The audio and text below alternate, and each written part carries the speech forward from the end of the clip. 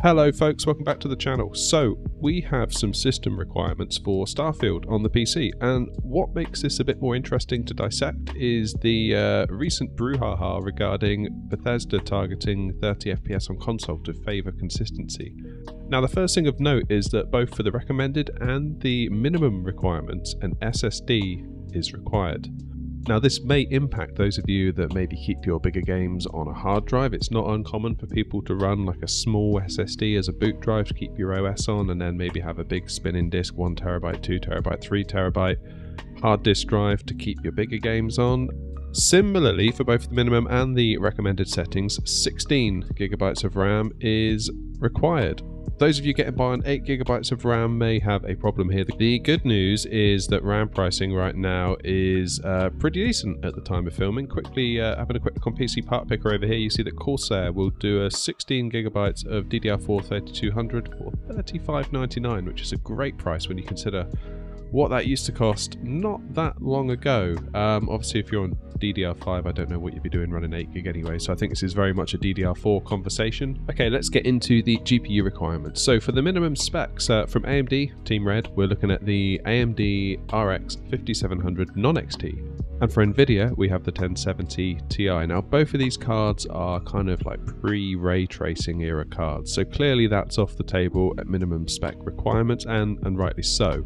Now looking over at Tech Power Up, you can see if we scroll down here it compares. So we've got the uh, 1070 Ti here as the baseline and if we compare and contrast to the RX 5700 that is 9% faster, it says, um, than the 1070 Ti. Obviously, in between here, we've got the 5600 XT, the Vega 64, RTX 2060 and of course the GTX 1080 non-TI. So this sort of area is what's considered the minimum. Now, what I thought was quite interesting is if we just go back a little bit, even if we drop 10%-ish of performance, go back to the 1660 Ti and 1660 Super, I'd be really interested to see when the game comes out, how well could it run on a 1660 Super slash Ti? Because you know, if we look at the uh, Steam hardware survey as of May 2023, obviously the 1650 vanilla is is top at the moment. But you don't have to scroll down that far to find the likes of the 1660 Super and Ti. So clearly this is a card that a lot of gamers are using at the moment.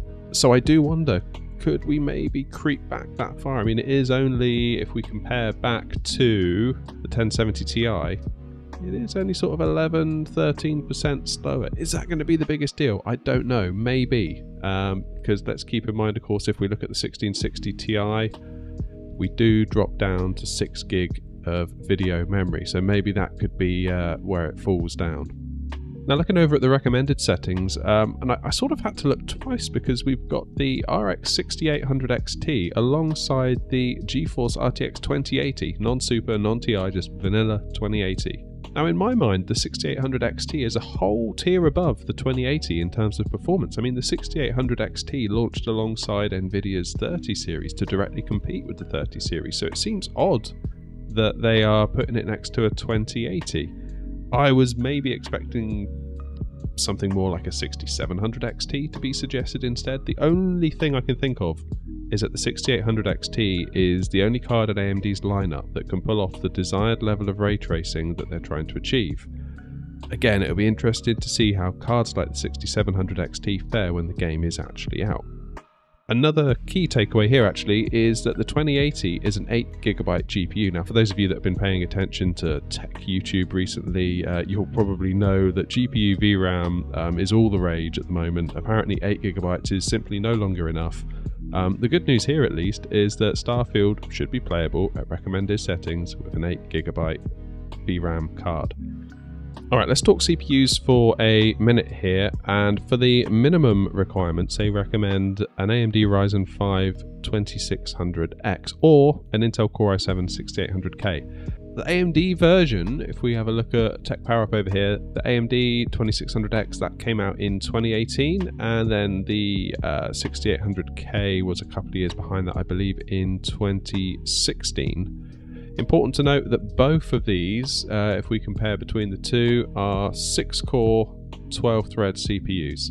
So if you are running a 4 core 8 thread, it's possible you might have issues. I mean, it may run, probably will run, but will it run smoothly, consistently? Uh, maybe not. So keep that in mind. Looking on over at the recommended side, uh, we've got the Ryzen 5 3600X and the Intel uh, Core i5 10600K. Now, um, in terms of AMD, this is just basically the next generation product versus what came in the minimum specs. So 2600X, 3600X, that makes sense. Intel's recommending a much newer chip, 10600K versus the 6800K. I mean, that's a good four uh, Intel generations newer. Again, though, these are six core 12 thread parts, um, albeit newer 6 core 12 thread parts. So while they don't have any more cores, they have better cores, therefore you can get more performance. Now, this is all well and good, but th there's an elephant in the room here, and that is that Bethesda are saying that they're going to target 30 FPS on console.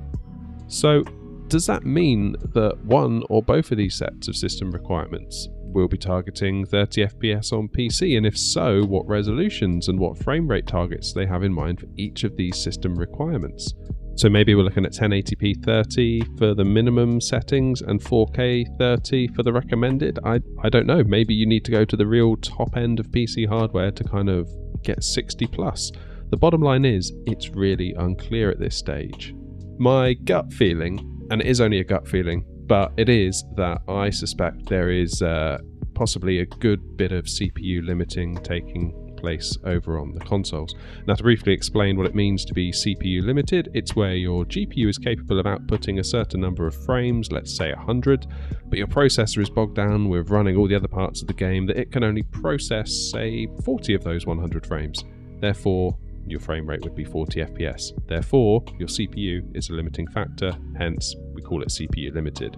So this could be why they capped it at 30 FPS on the console to have a smooth, consistent 30 frames a second rather than having it bounce around all over the place in the 40s and the 50s, unable to make it to a steady, consistent 60. How much this carries over to PC, uh, it, it, will remain to be seen. Obviously, on the PC side, we have access to much higher performance processors, uh, which could mitigate the issue. Again, how much remains to be seen. Let me know in the comments. Um, are you planning to play Starfield on PC? And if so, what hardware are you going to be running it on? I'd love to hear from you. As for me, I'm going to be, well, assuming I don't upgrade, which is never uh, ruled out. Uh, but for now, I will be looking at playing it on an AMD 5600X with my NVIDIA 3070. Not the highest end machine out there, but a sensible machine at a sensible price. Thank you all so much for watching. Um, if you've liked the video, please leave us a like. It really helps the video and the channel so much. And while you're there, be sure to hit the subscribe button so you don't miss any future videos. Thank you very much again for watching, and I will see you in the next one.